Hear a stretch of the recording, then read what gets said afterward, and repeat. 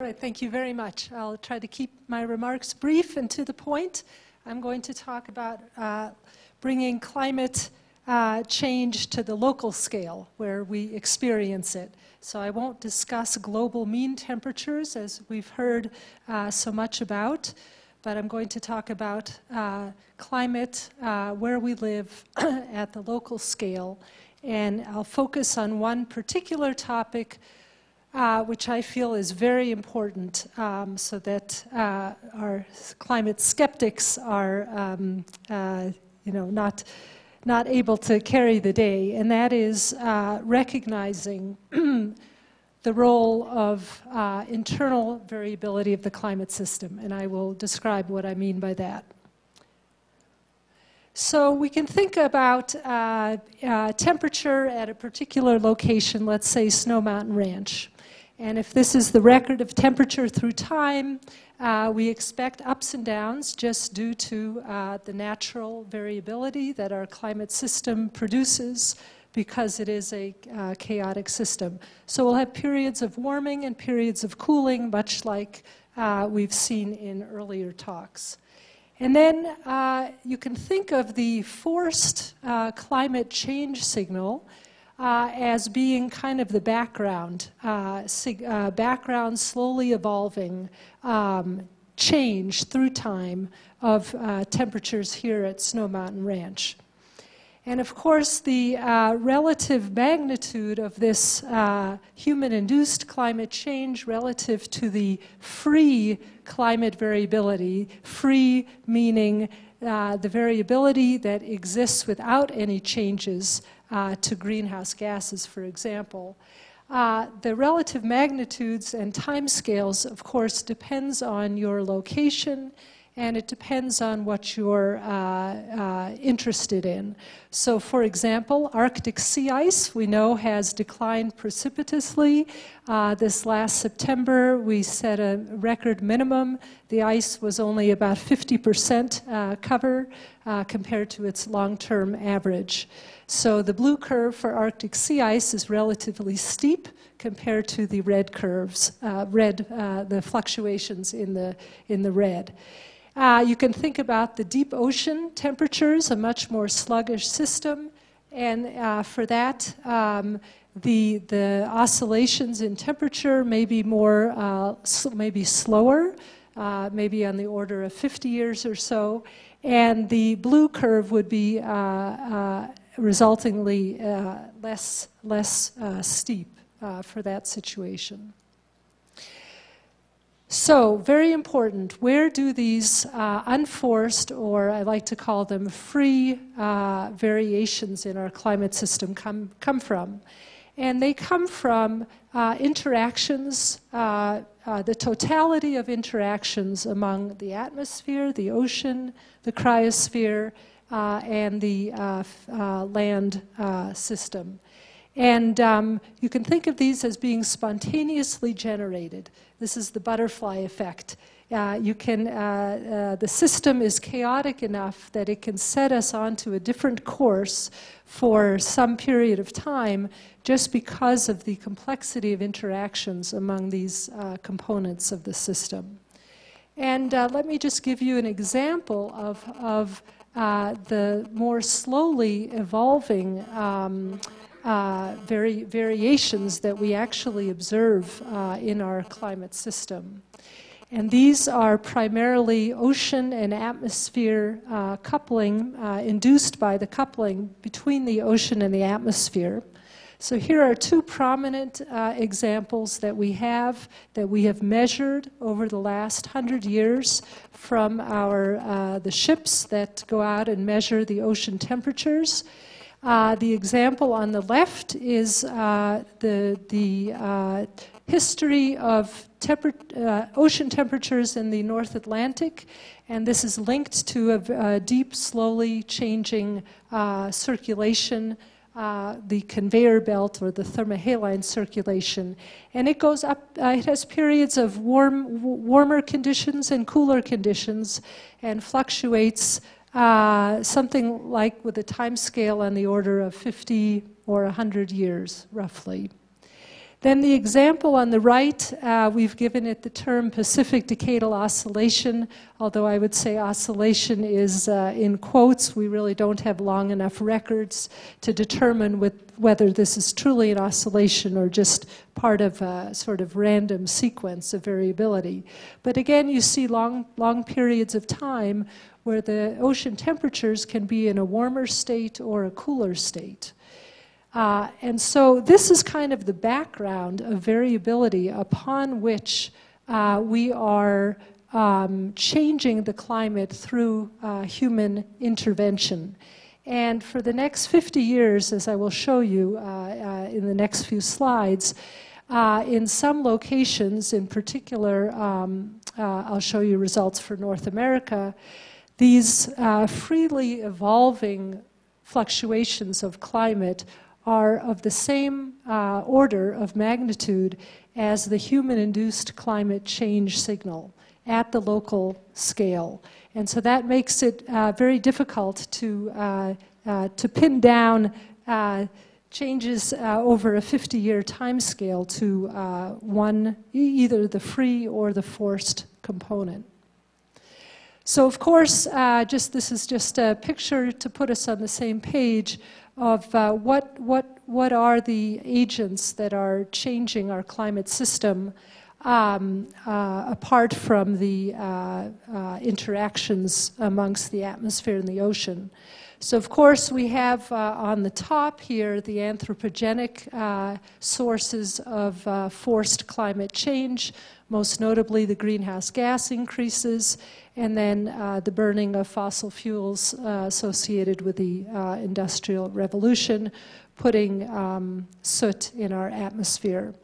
And then, of course, we have also uh, natural uh, agents that force uh, our climate. And uh, we have changes, of course, in the solar uh, cycle, uh, how much uh, radiation our sun puts out, and then, of course, changes in volcanic activity, which can uh, induce uh, cooling effect, as we've heard in the last few talks. So, uh, what I'm going to show you now are a set of climate change simulations. These are the typical IPCC type simulations. Uh, and in fact, uh, this is, uh, these are simulations that were done with uh, uh, the model that was contributed to the last IPCC report, the NCAR Community Climate System Model version 3. And instead of just doing one simulation for the future, as most of the uh, models uh, did, we decided to do a lot. And uh, we ended up with 40 just as a balance between our computational resources and the length of time that we could uh, integrate this model. So each of our simulations undergoes the identical change in greenhouse gases and sulfate aerosols. So the external forcing is identical.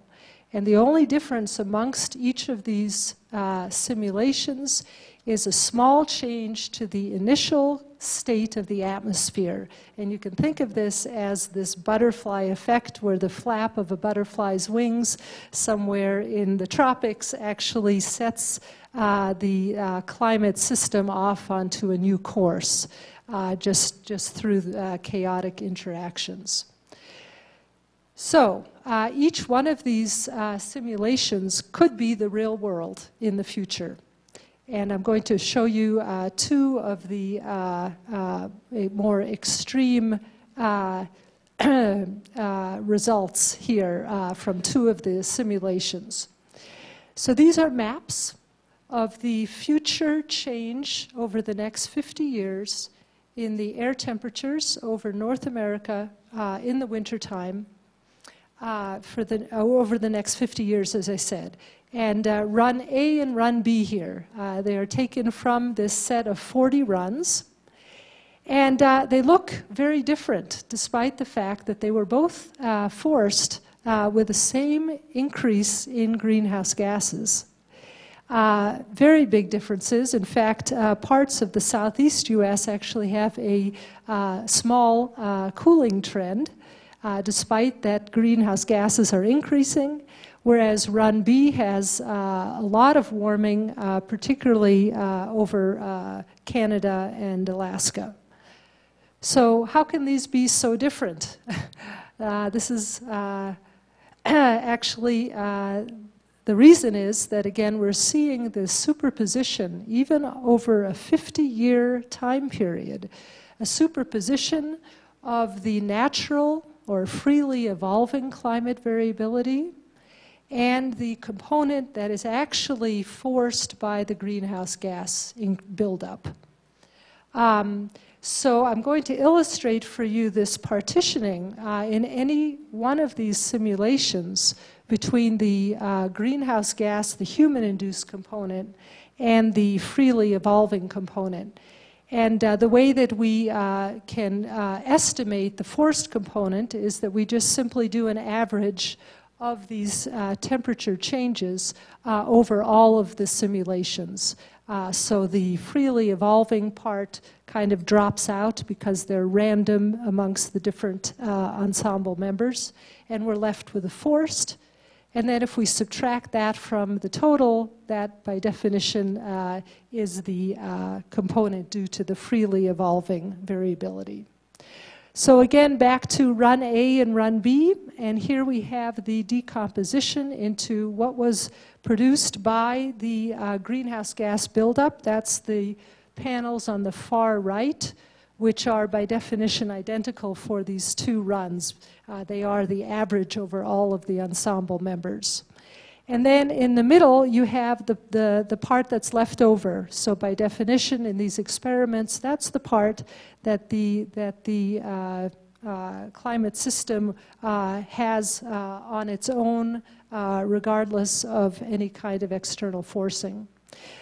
So, run A, you can see much of the United States, in the absence of an increase in the greenhouse gases, uh, shows a cooling over the next 50 years, whereas run B shows a warming.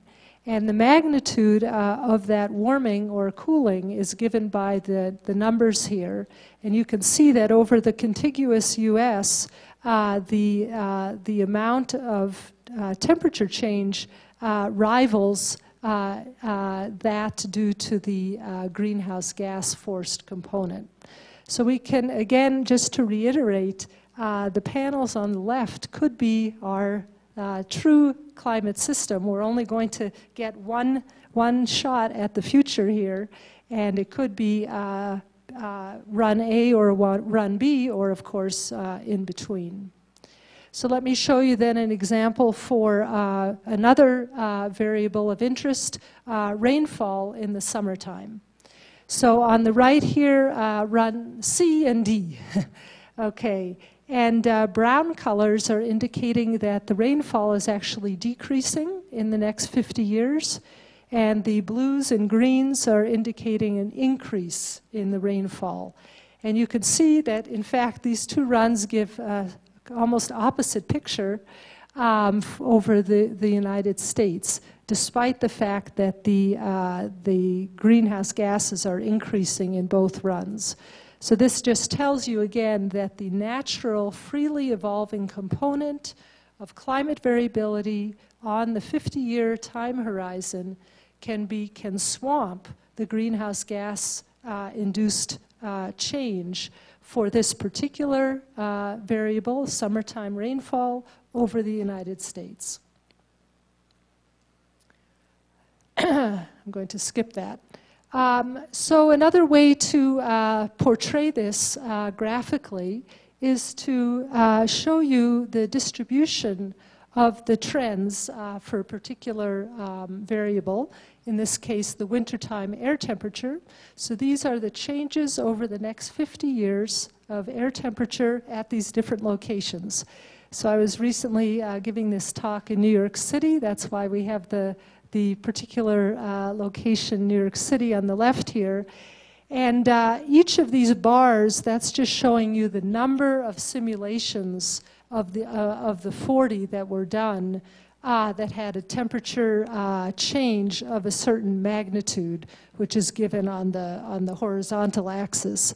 So for New York City, you can see a wide range of outcomes uh, in the change of temperature over the next 50 years, ranging from uh, zero degrees uh, all the way up to four degrees.